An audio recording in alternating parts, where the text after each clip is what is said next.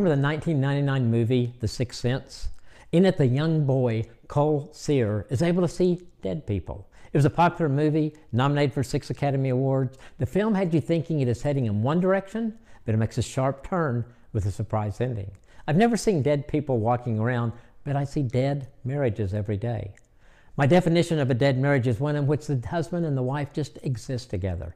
They may live in the same house, eat at the same table, ride in the same car, but there's absolutely no life in their marriage, no connection, no intimacy, just existing. I'm sure they didn't get there overnight. It was probably a series of baby steps over the years. If those couples came to me for counseling, this is what I say. Remember a time in your life when you enjoyed spending time together.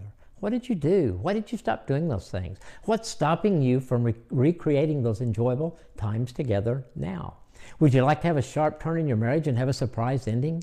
Then stop those baby steps away from each other and begin walking toward each other. You can, with God's help, turn that dead marriage into one you cherish. Your one thing today, what's your favorite way of spending time with your spouse? Then begin doing it today.